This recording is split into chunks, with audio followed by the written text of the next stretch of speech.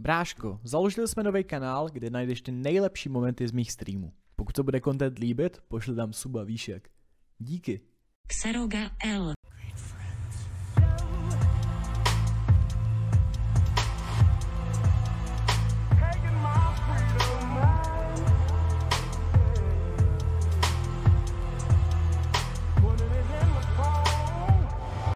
Ahoj, já jsem Xero, vítám vás u dalšího videa a v dnešním videjku se podíváme na pademku po PBR. Eh, Tohle to desítkový německý metko, naprosto úžasný metko, jeden z mých oblíbených tanků, jedna z mých nejhranějších desítek na mém hlavním účtě. Uh, tahle desítka dostala v posledním peči uh, PBR. Vypadá nějak takhle, vypadá moc pěkně, tenhle ten PBR model se jim povedl. Reálně, když si takhle porovnáme to LT, tak ta pademka vypadá i líp, ale to bude asi tou legendárkou. Ale actually se jim ten model fakt povedl a uh, zároveň pademka uh, díky tomu PBR modelu dostala i trošku uh, kompletně reworknutý profil armoru.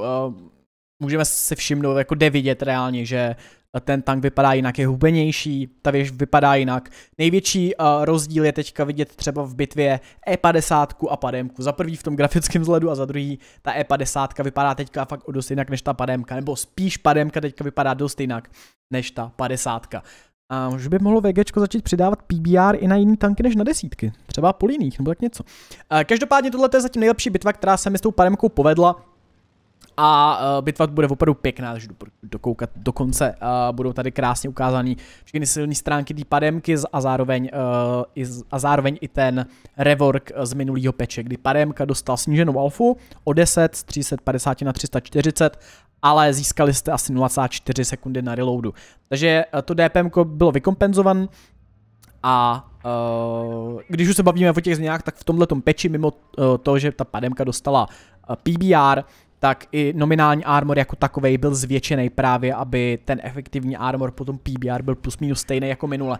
Uh, nebo je, jako předtím. Paradoxně, paradoxně se stalo to, že pademka ze předu do věže, když je v huldownu, třeba i trošku v depresi, tak nejde probít desítkovým metkem goldem bez kalibrovek do věže.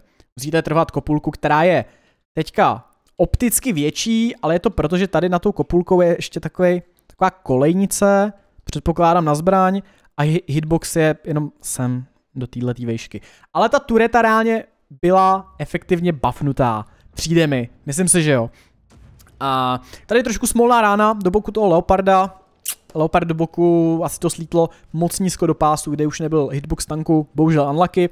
No ale uh, máme na tomhle flanku převahu, v podstatě celý enemy, uh, enemy team je ve městě, až právě na tady ty dva chudáky, na kterými tady najedeme. Uh, já s adrenalinem mám velmi pěkný DPM, s adrenalinem nabijím 5,1, uh, bez adrenalinu teda 6,1. A ten Vickers to teďka nebude mít dobrý. Um, další věc, o který bych rád promluvil, je, že Pademka dostala sice v minulém peči uh, nerv Alfy AP o 10, ale Alpha Hatchek zůstala stejná. Ale máte lepší reload, ale Alpha Hatchek je stejná. To znamená, pokud máte příležitost, tak s pademkou se ještě líp farmí damage hatchkama než předtím, protože máte prostě rychlejší reload, ale alfa na hatchkách zůstala stejná. Což tady za chvilinku uvidíme, tady v praxi uvidíme uh, další silnou stránku pademky, kde vy prostě můžete nalítnout na tank a zramovat ho. Tenhle ten run byl těžce greedy, já jsem prostě že hrál to na streamu, chtěl jsem to udělat, chtěl jsem to udělat, kdo by to nechtěl udělat. Bohužel jsem tady dostal nepříjemnou ránu za 7 čent od toho VKčka a mám štěstí, že to TV po očividně nebylo nabitý, protože kdyby bylo nabitý, tak by mi tady dalo uh, za 3 sekundy bych byl prostě v garáži. A tady přijde na řadu zároveň skvělý dělo té pademky, jako tady ta rána, na, jako jo, pravda, to VKčko nám nepíklo úplně dobře, ale já jsem uh, správně sidescrpnul, on mě bouncnul do boku, a tady teďka přijde na řadu uh, velmi, velmi přesný dělo té pademky, když necháte doměřit. Uh, jedna rána do Leoparda, vykřičník, vykřičník se snížil ze 438 na 425, to je rozdíl kolik? Pff, to je rozdíl 13 damage, v podstatě zanedbatelný. Další rána tady do Leoparda, tohle to docela low roll, nedá se nic dělat.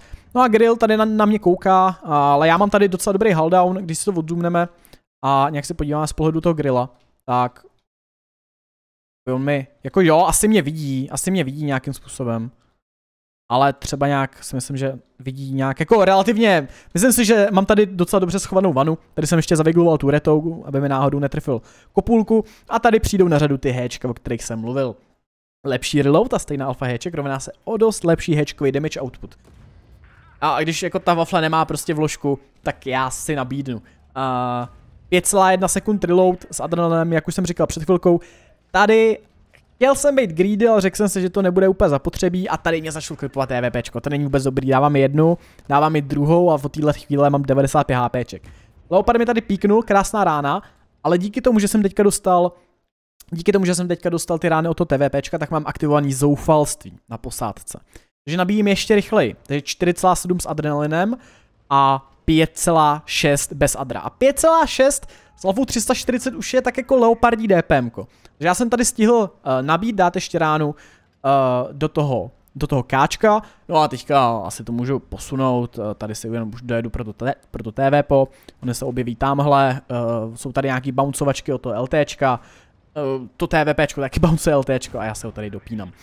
Um, takže třetí kill, 6200, uh, 6258 damage, uh, započítá se, počítá se do toho i rám, jinak to bylo nějak 5900.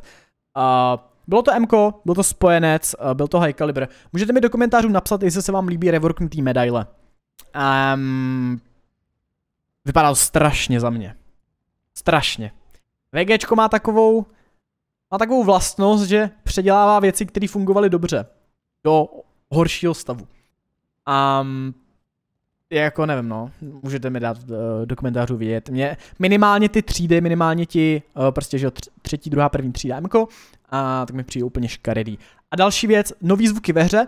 Nový zvuky ve hře, protože se mě na to budete ptát, tak vám tady k tomu dám jenom uh, rychle odpověď. A nový zvuky ve hře, OK, cool, nezní to špatně, jo, nezní to špatně. Jediný problém, s který, tím, uh, který s tím mám, je, že každý dělo zní prostě stejně. Hrál jsem Baťáka, hrál jsem Baťáka, vím, jak zní Baťák, protože jsem hrál Baťáka, potkám v bytě TPčko, který vystřelí zní úplně stejně. Hraju na sluchátkách, a mám to docela obasovaný, ale prostě to zní stejně a potvrdí mi to drtivá většina z vás. Neříkám, že jsou ty zvuky škaredý, ty zvuky jsou pěkný, ale chtělo by to mnohem víc rozlišit uh, těch zvuky, ty zvuky těch kalibrů. Um, prostě není možné, aby desítkový TDčko fakt znělo stejně jako desítkový metko.